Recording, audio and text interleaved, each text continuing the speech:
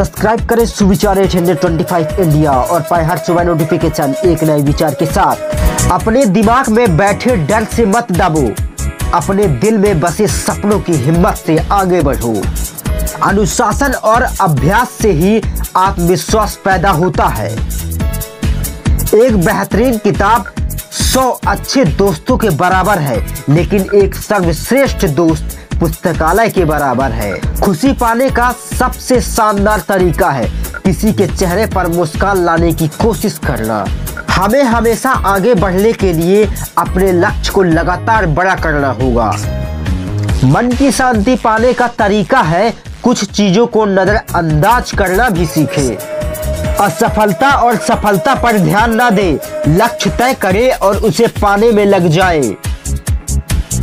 ज्ञान व्यक्ति को गुलाम नहीं बनने देता है। सब्सक्राइब करें सुविचार एट इंडिया और पाए हर सुबह नोटिफिकेशन एक नए विचार के साथ।